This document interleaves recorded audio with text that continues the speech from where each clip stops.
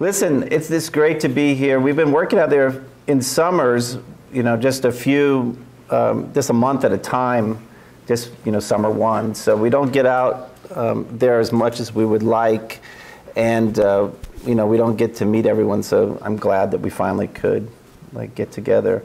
Our research is kind of multi-pronged, but we're, we're really interested in uh, these pueblos. But, you know, there's been people, let me see if I can use, there's been people here for about 12,000 years out there running around. So it, it's not a, it's not, this is the end of the whole sequence in some sense.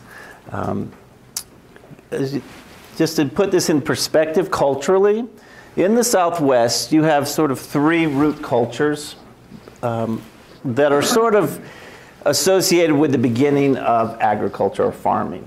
Before that, they're just sort of generically hunters and gatherers of different times. And so when you start saying Hohokam or Mogollon or Anasazi, you're talking about people who are farming corn, beans, and squash. And they initially, for thousands of years, live in sort of subterranean pit houses. And eventually they switch to surface ruins, uh, pueblos, uh, the Anasazi first at about 750 AD, the Hohokam and the Mogollon around 1000 AD. And so the, the actual living in the Pueblo as a lifeway is a relatively recent and short-lived uh, sort of experiment in some sense. I mean, it's about 400 years.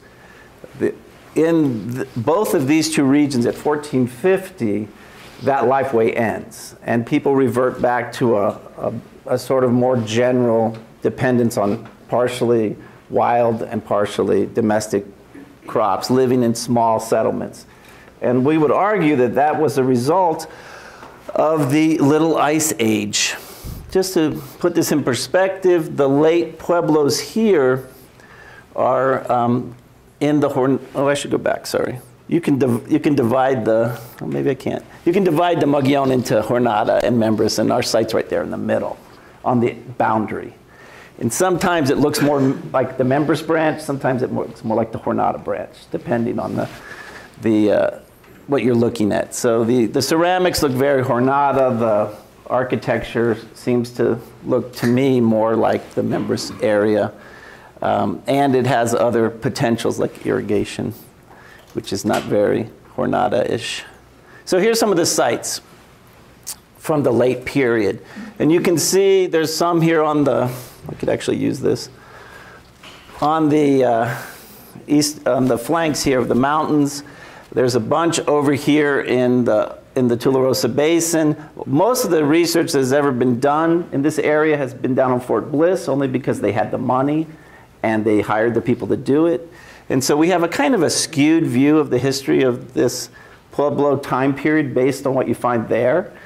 More recently, White Sands has started sponsoring a lot of more contract work, and it's totally changing how we see this time period. Um, and then we've been, you know, following up on Mead Kemrer's work, who was out uh, volunteering and doing work out here. So we've been starting to work in this area. Um, our question is, is sort of multifaceted. I might, by training, I'm, I'm a specialist in the archaeology of ritual and religion. I actually teach courses on witchcraft and all sorts of magic and all kinds of interesting things. But in addition to that, and to complement that, of course, we're also interested in how people react to climate change, particularly in the sort of context of climate change today. Uh, and what you see is in this Pueblo period, it begins in a time of really good climate, relatively speaking, in the Southwest, around 1000 AD you have a very warm and wet period. You know, it's always, it's the Southwest, so it's not always wet. But relatively speaking, it's pretty good. Then you have a terrible time in the 1200s, and then it sort of gets better again in the 1300s. And so these people in these pueblos, the whole time practically, they were dealing with this problem. And as part of that, you see changes in the way they organize themselves. You see new religious movements rise and fall. So that's, you know, where I, one of the reasons I got interested in it. You know, and that's unfortunately or fortunately, depending on how you look at it, I think is going to be the future that we're going to be facing. As the climate gets worse, most societies of the world, they don't see, see that process as a meteorological one. Most people sort of personify nature, and they see droughts as sort of deities or the causes of deities. Their ancestors are unhappy, this kind of thing, and they react to it. And that's going to happen as well in the modern world. And sometimes they react quite violently, and that's where the witchcraft persecution kinds of things come in. Hopefully, we won't have that too much out here that way, but we'll see. So, just to sort of give you the, the background, I'm, some of you are probably familiar with Grissino-Mayer's work on the tree ring studies. And this, I love, this is a, an earlier one that he did up in Grants area. Then he's got another one that was done in the southern part of the, this region. Both of them are quite comparable in terms of what we find and complement earlier studies. But what I like about his work is that he you know, goes ahead and tries to apply it to some of the culture areas. And what you'll see here is these are the phases, or sort of the subcultures that we talk about for the, for the Pueblo times around here. So the earliest one is 1000 to 1150. Then you have this one from 1150 to 1300, and then another one, 13 to 1450. And you can sort of see that it's on these nice humps that you have these cultures rising. So they're, they correlate pretty well with precipitation. If you go back in time, it doesn't correlate as well. And in part, it's because as the population is increasing and people are becoming more sort of tied to places, they're less flexible. So when you do have climatic shifts, they can't as easily just abandon the farm for a couple years and go live off agave hearts or something because there's other people doing the same thing in the same area. So earlier in time, people are, have more flexibility when they're dealing with, say, this kind of drought back here or, or nice rainfall. But as, it, as you go through time, it becomes more and more precise to the point that we lose pueblos right here. The only pueblos that make it are up north. And everywhere else, and then over in Arizona, this does it in. At least that's our interpretation. And to complement that, you also have temperature. And these, admittedly, we could argue, people argue all the time, but this is how I sort of break up the, the temperature regimes. Like I see this is the early medieval warm period, and it sort of lasts a little longer than the actual phase here, but it goes to, you know, into the about 1200 about, you know. And then you got a cold period, then a warm period, so I call that sort of a transitional, and then you got this long period of cold that would be the Little Ice Age. Once again, it's that same exact time, it was the double whammy, 1450, that it gets really cold and dry. And that's, I think, why the, they have so much trouble with the, the agriculture. And even this 1200s time is, is really bad. Technically, uh, this is a foreshadowing. We don't know any sites in the 1200s out there on the range, particularly at Cottonwood, but it's a little difficult to identify them sometimes because the ceramics aren't that distinctive. There's only a few things that you can use. So unless you actually dig them and date them with some radiocarbon or something like that, it's, you're not sure because they'll look like, they'll look similar to the later ones. So that's one of our, our interests. But once again, I think it's amazing how relatively well these, these regimes correlate with the, with the phases. And these phases were defined long ago, independent of this. So it's kind of cool. So when you look at the droughts, the drought that ends the, uh, that first phase is a really bad one. And, and I don't have, I didn't put it on here, but it's particularly bad throughout the entire Southwest because right before it, the 20 years before was one of the wettest periods that ever existed in the Southwest. So you have like Chaco Canyon, if you guys have ever been up there. All of that is going great guns. All the big sites in the Phoenix Valley are doing great. All the Mimbres pueblos, this is the same time as Mimbres pueblos if you're familiar with them. They're all flourishing and then boom, they totally overshoot, you know, the carrying capacity when everything collapses, and so there's a huge abandonment and reorganization of the entire Southwest. It's not, and we have it in our little corner here, but it also happens everywhere. And that's when all the cliff dwellings up north are founded. People start, um, like Mesa Verde, they move there. They abandon Chaco. They change their whole architecture and, and other things in the Hohokam. So it's, it's a, a time of radical change. And then you have another one that ends the 1200s. And in this drought, the Four Corners is abandoned. And you've probably heard about that. So Mesa Verde, those same places they moved to, they leave them. They're all gone. And they have a massive change here, but when it recovers, we have the, the founding of the El Paso phase and all the pueblos down here. So it's this alternation between like a, you know, good times, then the droughts, and then things get better and you sort of reorganize and you have a whole new set. And then this is the final one here. So moving on. Cottonwood Spring Pueblo is actually six or five pueblos, six sites. So it's not actually one pueblo. And even within those, there's, it depends on how you count them. This was an early map done in the 80s. Uh, the one that's near the spring where we worked a lot is this area A. You cross the little wash there, and there's a hill, and there's a tiny pueblo made out of stone, which is unusual because most of them are adobe on top. There's kind of a shrine or something on this little hill here. Both, all of this is covered with rock art. And then you cross this wash, and you're on this sort of just out here in the sand dunes, and there's multiple sort of sites. There's one here that Kristen is actually writing an NSF improvement grant to, to work on for her dissertation. We have this site here, which is our, our site that's actually from the early time, the Mimbres time, the 11, 1000s. And then finally, another one here. And originally, there was a guy named Yo, who was an engineer who sort of mapped these. And this one is about 200 meters long, this room block that he shows. It's not visible now, but Mead, Kemrer, and others have actually sort of found in some of the aerials some of these pictures, and we've sort of worked on a, one that I'll show you out here. So it should be Cottonwood Spring Pueblos, I guess, but it's a community. This is what we call aggregation. So in the end of the 1200s, people all moved into this area and as a community started building this big sort of settlement. All right, and so there's only a couple other ones like it in this region. And here's just a, just to give you some sense of the topo and relief. I don't know, is this taboo for like people seeing like no looters allowed? Like don't don't figure out where this is.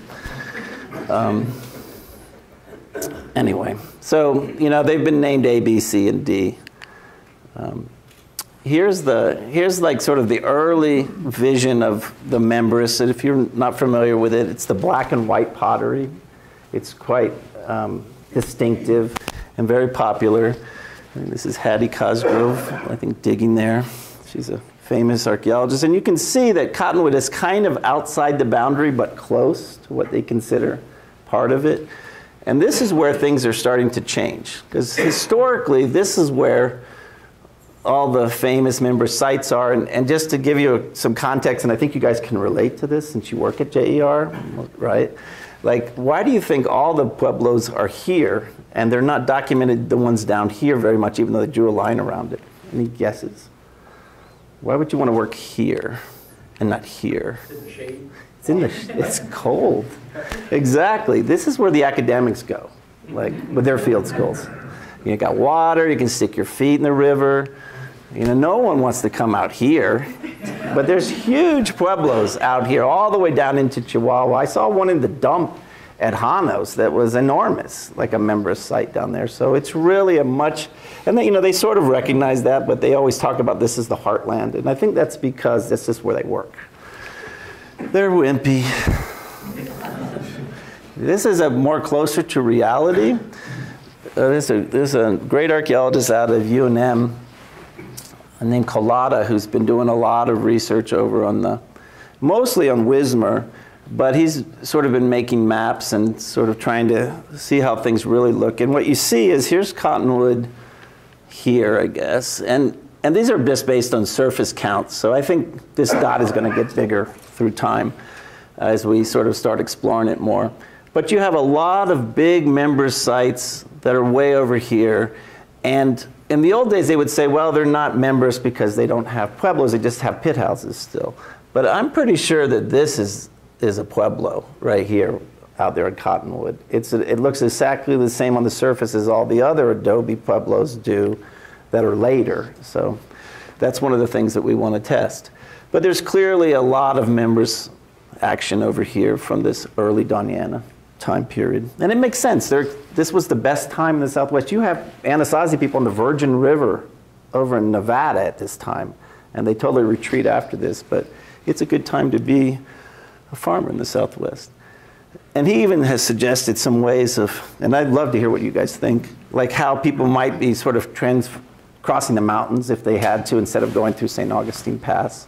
So he, these are some suggested routes that he has from Cottonwood across and down over here into Lake Lucero through San Andres Canyon. I've never done it myself, so I have no idea how that would work. Is anyone? I know the road is comes over here somewhere, doesn't it? Where's the road? Been there, done that on the road. Was it a, was it exciting? so this is what it kind of looks like on the surface, as you guys know, and environmentally, it's much more difficult around here. You don't always see the ruins like if you were in other parts of the Southwest, you know, because they're buried by the dunes and things. But you can tell by based on the, all the rocks and other detritus that's melted out of the adobe walls or left over from floors that got washed by sort of erosion. Primarily, you're looking for the ceramics because these people all used lots of ceramics, and these black and white ones are a dead giveaway. Now, there are some black and white ceramics from later in time, but in general, these are very distinctive if you know what you're looking for. So we know that that one area is earlier. Um, we don't really know what's going on, though, very well in the 1200s. I mean, the entire century is terrible, it's below average. And then you it sort of ends with a really bad drought. Um, so and, and the ceramics after 1150 when they stopped making they like that's another interesting thing. Once like that big drought hits people stop making the black and white pottery. And there's no reason that they had to stop. But we would argue that they the most material cultures kind of considered animate by native cultures. And so when you're having a problem like environmental problem they usually blame it on spiritual forces and such. And that includes architecture, that includes objects, because all of those things are used in their ceremonies. And so if the ceremonies aren't working, then when you change the ceremony, you change the materials too. So they start new pottery, new forms of architecture, new all sorts of things. That's one of the reasons why they changed, because there's no reason to change. They can still make that black and white, but they don't want to. They don't like it. Anyway, here's like the 1300s. If you look in this sort of comparative framework, these are other contemporary pueblos from the 1300s. Most of them are relatively small. Now, most of these are also on Fort Bliss. You know, so of the ones that we know that are large, these medium-sized ones are closer to Alamogordo. Fleck Draw, Indian Tank, which is also on that same sort of drainage, are huge. And then this is just Cottonwood Area A, just that one of the four pueblos. And it's probably the biggest compared to these. It's, I mean, this is more or less the same scale. I was trying to get them in scale. So what you can tell is not only is there an aggregation in the Cottonwood and other drainages of the San Andres, but there are huge amounts of people coming in. And so it seems like at least after that 1200s, when things get better, when they come together, they're, they're cooperating. And probably multi ethnic groups. This is something that we're going to investigate. Like, they're not all the same people. So, we want to see the variability in some of the actual pueblos, and that'll be sort of one of our long term research things. So, just to give you a sense of some of the stuff that we see at A, this is some small excavations that we've done um, compared to the whole site. And those of you who've been out there, you know, you walk up the wash here, and then you sort of enter right here. And there's been some disturbance a while ago, the 60s, I think, of bulldozers and such. But there's still tons of room blocks and things if you could hack down the, the mesquite and all the rest of it. So you get things like this, which is sort of like we cleared an area of like maybe, you know, 15 rooms.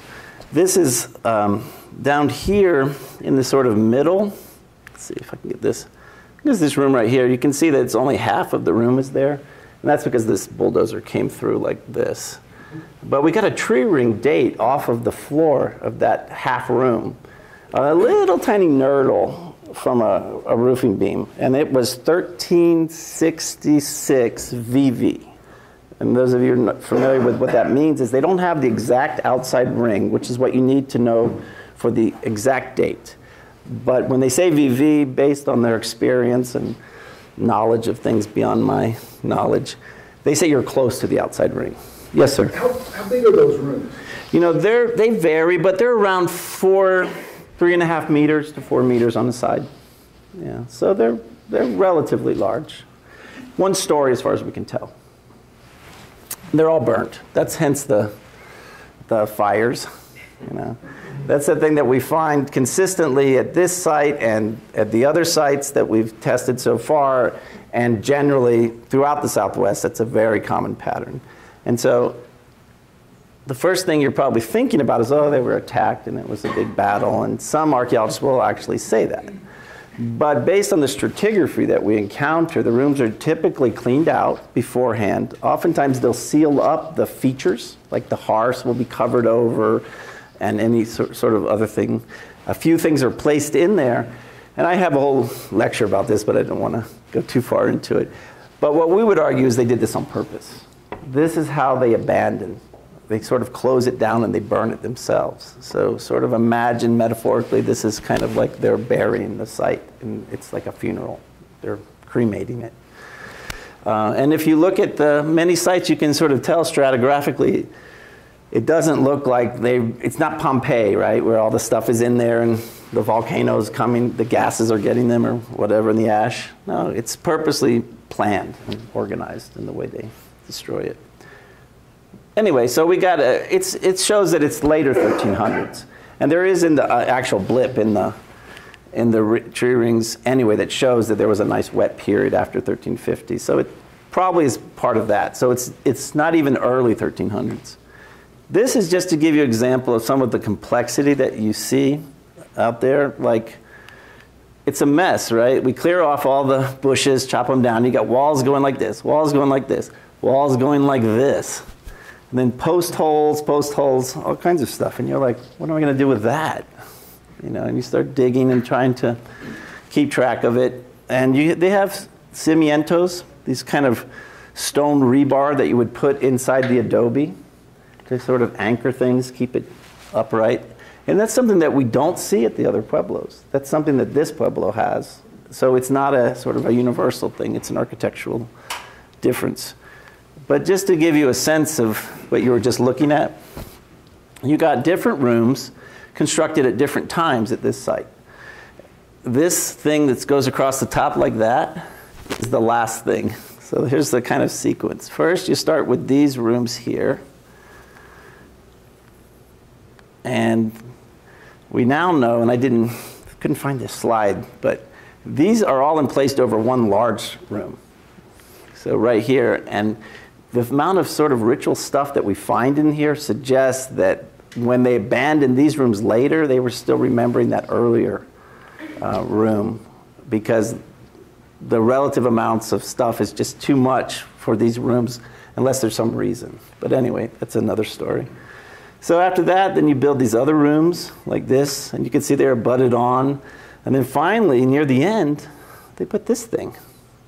We have no idea what this is. I've never seen th- something like that in any Jornada site, or really any site around the Southwest.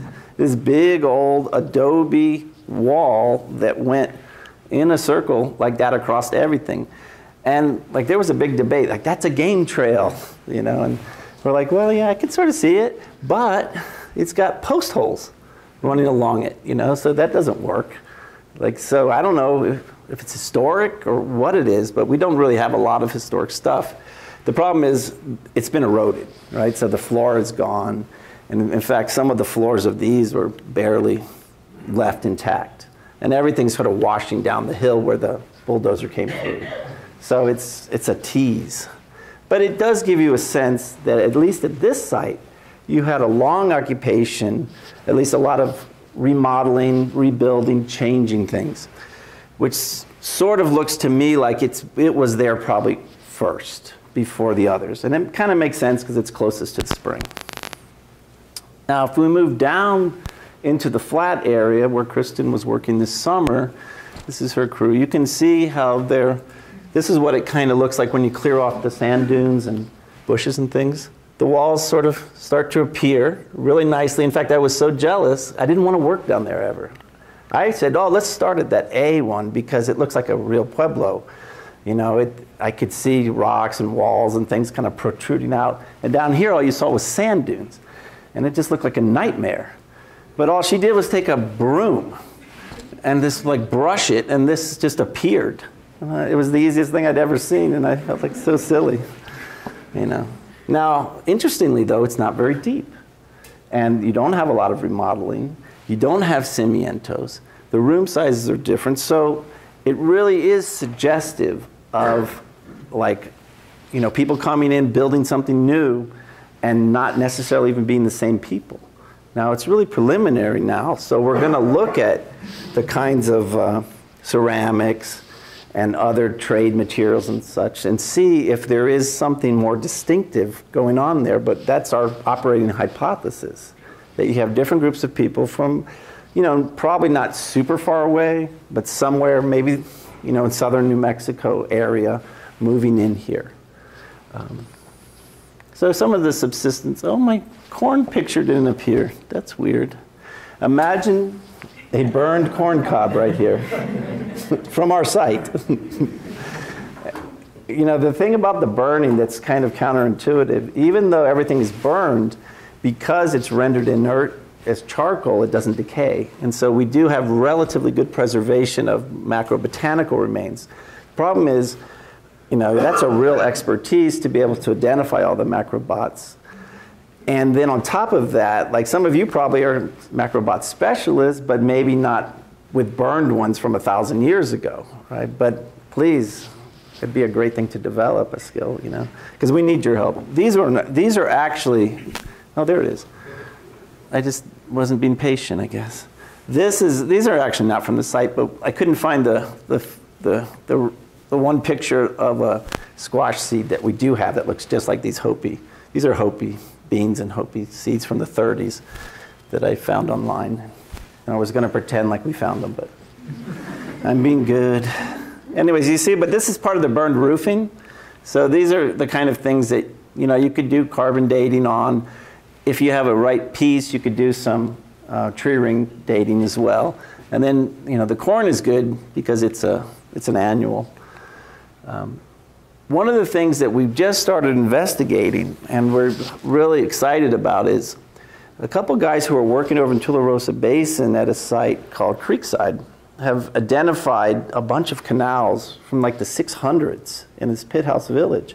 And they came over and looked around and said, you know, this is what, whoops, this game trail here is kind of looks like the topographic context and the sort of look of, of what we would call a runoff ditch, where they're capturing water as it runs down the slopes of the sort of Bajada area there, and then they just channel it down towards fields. So it's not like spring fed, but it is sort of runoff fed. And of course, as it fills in, then it could, you know, the game could start using it as a trail. So, which then makes it look more or less like a canal, depending on your perspective. You get you know, stone alignments as well. So sort of function as check dams to keep the erosion down and maybe capture and slow down the water. Um, over in Arizona, the native peoples would do that with brush even, and just sort of temporary things, ak-chin farming it's called. And so that's something that we need to sort of document as well in more detail. Um, In terms of things like the social ties that create the cooperative activities that seem to characterize this late time, we're looking at all the various objects that we find, some for more economics, some for just ritual, interesting things. Like, for example, these are shells that we found that seem to be from turkeys. And while you would think, oh, they just eat the turkeys, but really it's not that common as you would think to eat turkeys, but it's real common to raise turkeys and then trade their feathers around. Because the feathers are quite valuable for various Native American rituals and things. This is a gastrolith. Kristen found that, I think, didn't you? She's very proud of that. A little dinosaur stone or something. A lot of trade in shell, um, you know, for decorative and sort of costuming, this kind of thing. We find these with some frequency, spindle whorls. And the thing that you would use them for would be to make yarn, typically out of cotton. Cotton is king in the Southwest in the 1300s. It's the major sort of gold for people. Textiles are far more important than actual precious metals in many cultures of the world. And we know historically, based on Spanish accounts, that people are trading cotton blankets, clothing all over the Southwest. The thing is, we, don't, we haven't done our macrobots, and I haven't personally seen any seeds or sticks of cotton, but we find the tools for processing this stuff. And then, of course, people are trading a lot of obsidian. So we get stuff from different places, from the west coast, from the Gila River. A lot of our obsidian comes from there. Some of it from up north, some of it local, but most of it from the sources on the Gila River. Um, and so just to give you an example, this is the kind of feathers, you know, that you would use it in a headdress. This is a Zuni headdress. This is a Hopi guy spinning, you know, cotton with that same spindle whorl on the stick there. Has anyone ever spun cotton? Yeah?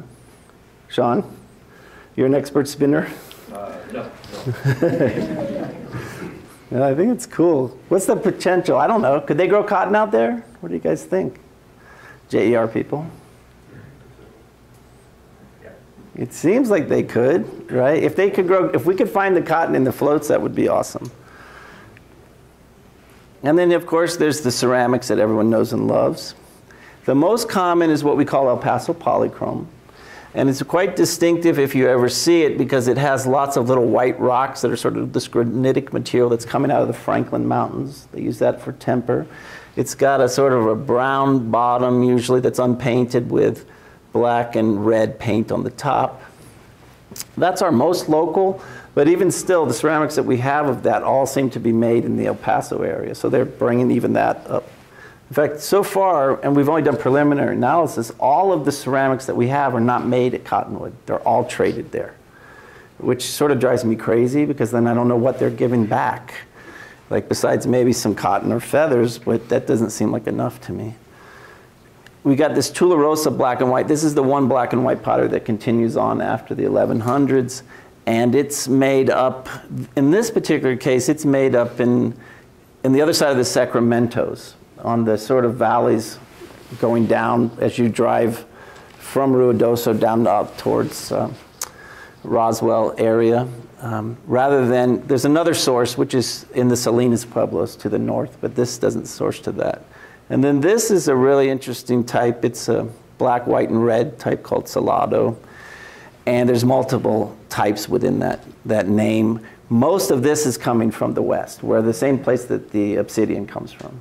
So the people who control the obsidian seem to be the people making this pottery.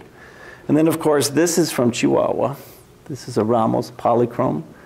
Uh, it's beautiful, high fired stuff.